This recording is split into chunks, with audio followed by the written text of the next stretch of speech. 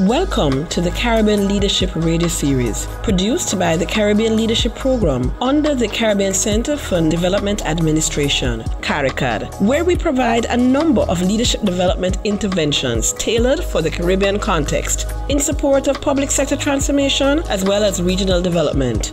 In this Caribbean Leadership Radio series, we will be discussing a range of leadership issues within the public sector context which impact our national and regional development in the Caribbean. The Caribbean Leadership Radio Series, where Caribbean leaders discuss Caribbean leadership. Here's your host, Dr. Lloyd Parks. Today, we will be looking at the topic the role of the permanent secretary. And we have with us Mrs. Arlene McComie. Arlene McComie is a retired permanent secretary from the government of Trinidad and Tobago. She has served in the public service there for over 36 years, and her last 12 years she served as permanent secretary in a number of ministerial portfolios, including national security, social services delivery, public administration, and local government. She also is a member of our community of practice of leadership development specialists and a consultant with the Caribbean Leadership Program. Mrs. McComie comes with a wealth of experience about this topic, and so we just want to welcome her. Welcome, Mrs. McComie.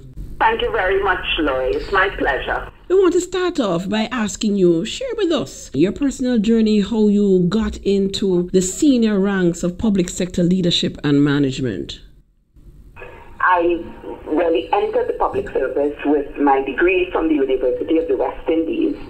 So I entered as an administrative cadet, and in that position, we received training about government, you know, during our period of probation.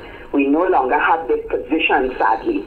I think we're looking at a position of, uh, um, can't remember the name of it, but like an administrative um, internee to know and understand so that people can move forward. But um, that, I think, gave me a push because I didn't start in the clerical, I started in the admin. Um, but as I went through um, work, I think I began to understand that maybe administration wasn't all that I wanted to be or to do. And I attended, well, it wasn't Arthur Lok Jack Graduate School then, it was the Institute of Business. Yes. And I did a diploma in HR because I wanted, that was my career goal at the time, to become a director of HR, which I, upon graduation, I eventually um, became. Um, I think I was told after a while that I had to adjust or expand my career goals um, from persons who I would imagine saw in me something more. Uh, so with, you know, um, trepidation, I did that. And I must say though that I think I've been fortunate. I got opportunities. I had mentors, especially in the Ministry of National Security, permanent secretaries that allowed me to um, do things even out of my sphere. You know, challenges that uh, I accepted and went forth boldly. So it, it has been interesting and I thoroughly enjoyed my career in the public service. If you were to ask the average citizen around the Caribbean, I think we would find that there's a general lack of understanding about the role of the permanent secretary and the importance of that role in public service and in public service delivery and development. Define for us what is the role of the permanent secretary? Um, I think the, the permanent secretary has a number of roles.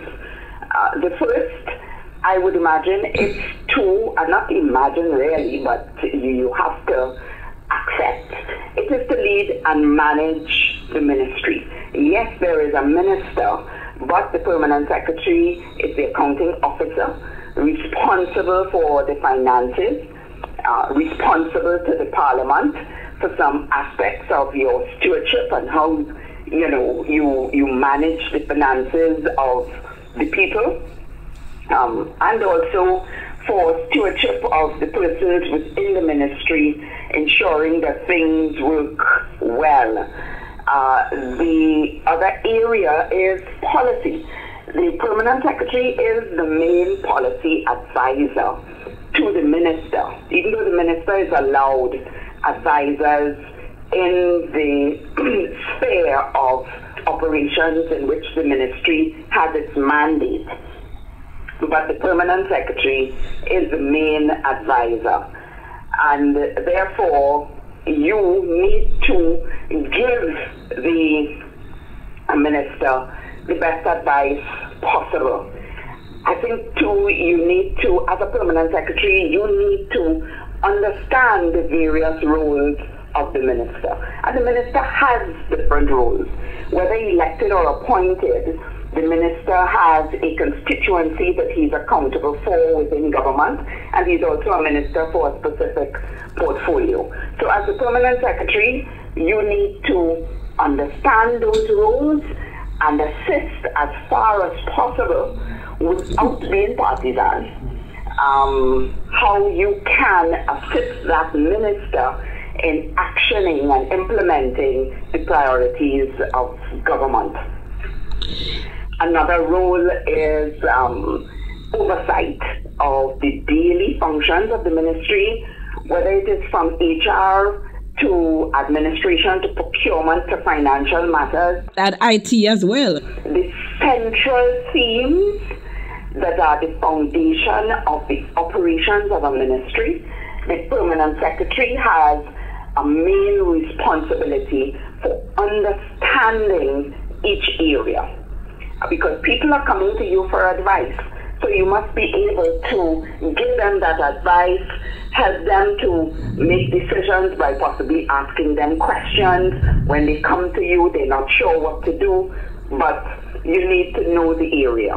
And unfortunately, a number of persons um, coming through the permanent secretary these days come through from a technical area and therefore don't know and understand some of these uh, areas. Indeed. Um, and so we are going to take a little break right now, but when we come back, we want to continue to talk about the responsibilities of the permanent secretary and to explore further what are some of the challenges facing that role in the Caribbean context. We will be right back the Caribbean Leadership Radio Series, where Caribbean leaders discuss Caribbean leadership. Across Caribbean public services, there is great demand for transformational leadership to create an environment that fosters innovation in public service delivery. But how do you know if your organization has this enabling environment? Grounded in research, the Caribbean Leadership Project has developed an enabling environment assessment. This provides a wide range of strategies and actions to help take public sector organizations and regional institutions to a higher level in enabling transformational leaders. To find out how you can use this assessment to foster and inspire purpose-driven leadership, to build leadership capacity for action, encourage collaboration, and support the achievement of results. Visit us at www.clptoolkit.org and contact us at info at caribbeanleadership.org. Let us help your organization learn, network, succeed.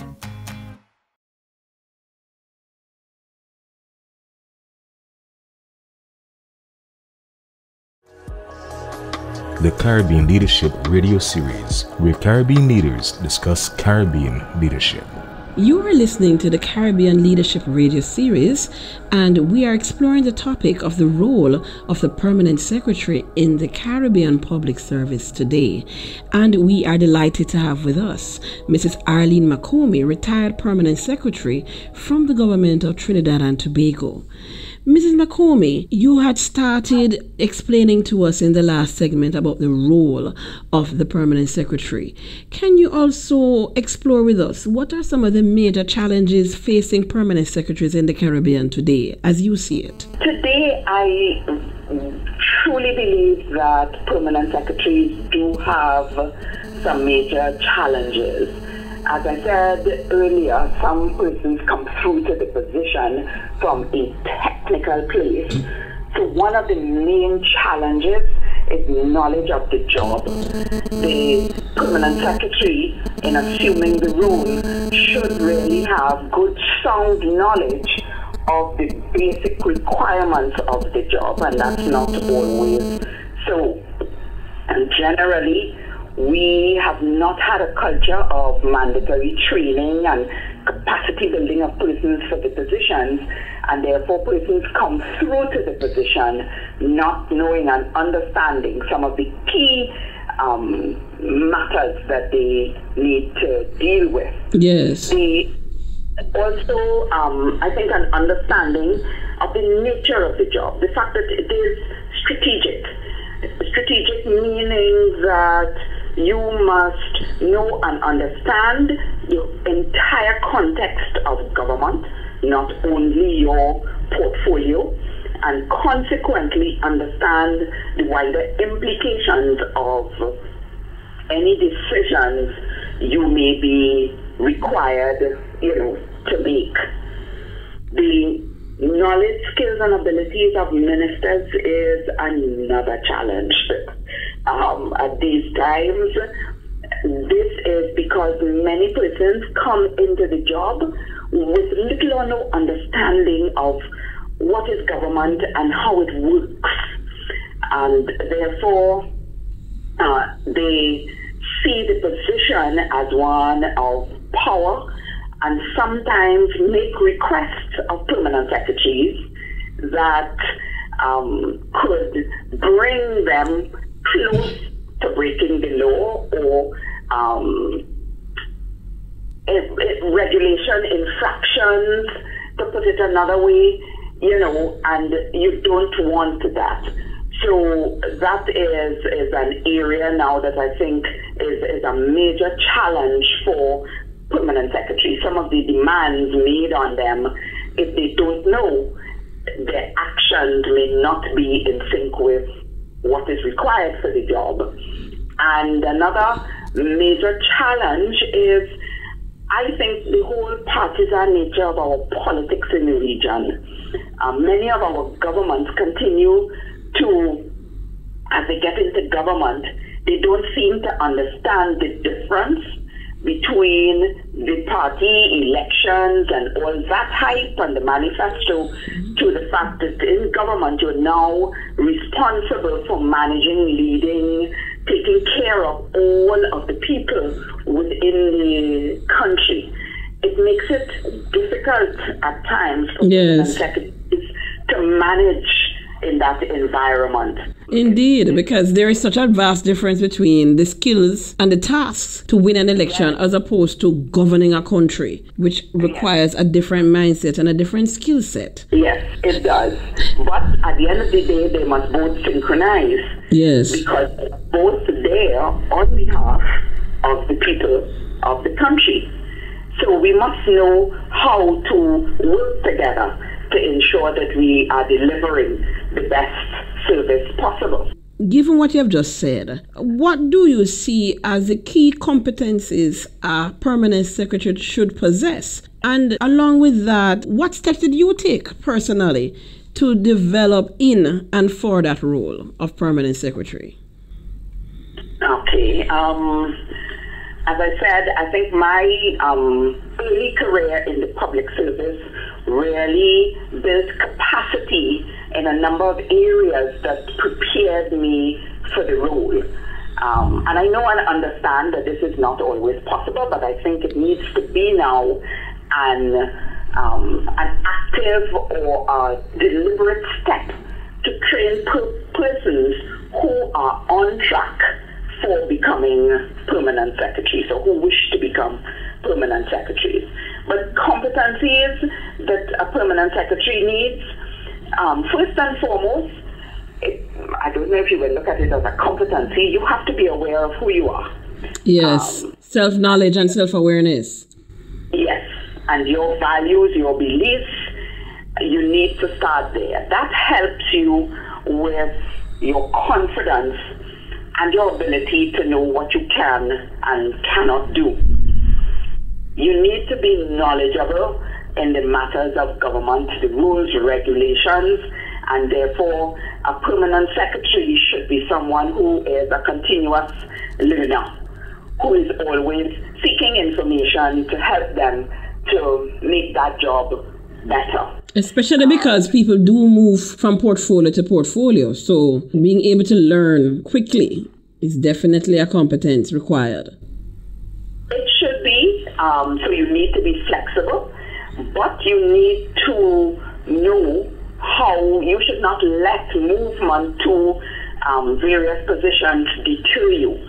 As a matter of fact, I worked as a permanent secretary in six ministries. What I did was put myself on a learning curve in each place, whether three months, six months, depending on the complexity of the ministry and the size, to know and understand the technical aspects of that, you know, portfolio. As I tell people, the, the basic foundation that we spoke about, the admin, the legal, the procurement, the HR, that goes with you and is relevant wherever you go as a permanent secretary. But you need to learn the portfolio of the ministry that you, you know, are in. So therefore, to do that, you must have very good interpersonal skills because you need to learn from the people in the organization that you would, you know, meet there. You have to trust that they would be providing you with the required information. Um, and as I speak to trust, a permanent, that is also a, a, competency area that I think a permanent secretary must be able to engender an environment of trust within an organization. Be true to your word. What you say should be followed by your actions. The two, you know, must not vary. So you must be able to lead by example. You don't know how much you're under a microscope uh, from the person within the organization. And I think you you definitely need to be flexible and agile. You need to hear from people. You need to understand people's perspective. You need to give them the respect of the knowledge that they would bring to a situation and be able to work through the change if needed. You know, um, the permanent secretary must also be a visible champion within the organization that um, encourages and enables and encourages your officers to work towards producing results. Uh, you also need to understand, and it has to be a competency here to train up your followers, understanding that leaders have followers. And yes. So you must ensure that as you continue, you work towards training and enhancing the capability of the persons. You must be able to delegate to them and trust that they will be able to do. Okay. That you have assisted them in doing the best job you know, that they can. We are going to have to take another short break, but when we return, we want to explore some of your achievements as permanent secretary. So, we take a short break. Do stay with us. The Caribbean Leadership Radio Series, where Caribbean leaders discuss Caribbean leadership.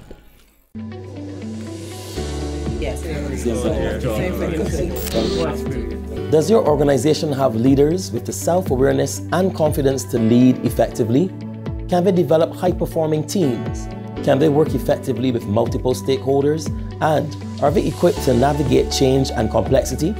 For these and other leadership challenges, The Caribbean Leadership Program offers a suite of virtual, face to face, and customized interventions to meet your needs. Our five day workshop on leading change and transition will provide senior executives with the mindset shift and tools to successfully lead change initiatives. Our transformational leadership development program is ideal for preparing high potential leaders for succession to executive roles.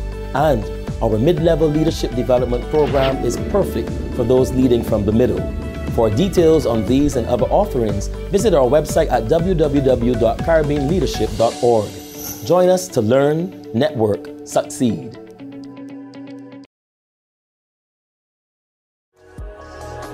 The Caribbean Leadership Radio Series, where Caribbean leaders discuss Caribbean leadership.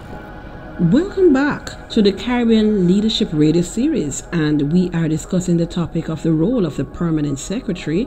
And we are delighted to have with us Mrs. Arlene McComie, retired Permanent Secretary, now consultant in Trinidad and Tobago, and indeed consultant to the wider region. Mrs. McComie, you have been sharing about the roles and responsibilities and the competencies that a permanent secretary needs to have and develop in your 12 years as permanent secretary in the government of Trinidad and Tobago, what have been some of your greatest achievements? And what are those things you would have done differently upon reflection? I look at achievements uh, in the way that they would have impacted uh, people, especially our wider citizenry.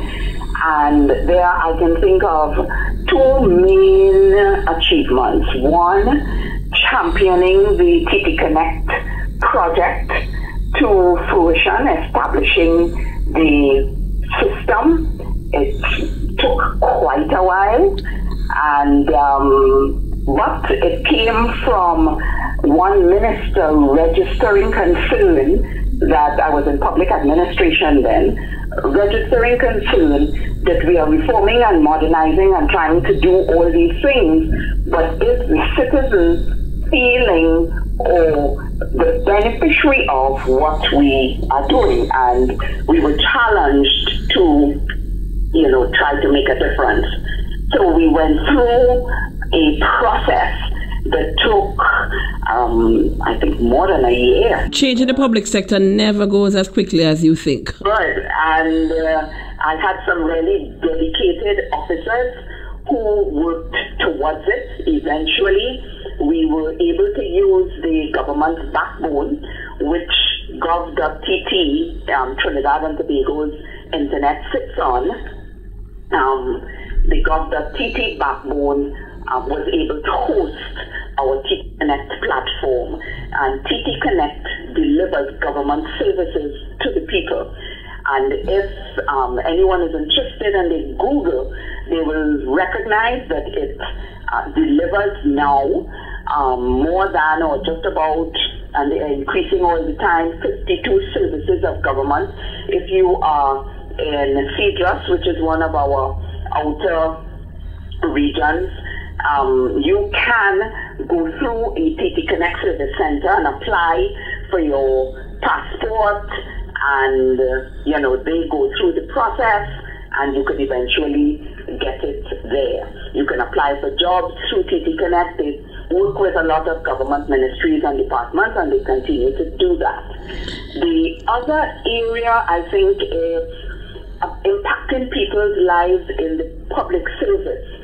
At the Ministry of Planning, I um, took charge of a project, of a project, and this is where you have to understand as a permanent secretary your sphere of influence and what you are responsible for um, a previous permanent secretary had promised about eight years ago to resolve a situation where half the staff of an organization were on short term contracts and therefore had no benefits or terms and conditions. And we were looking at um, transforming that organization. And if those people were not taken care of in terms of settling or working on their status, it would have caused a major issue.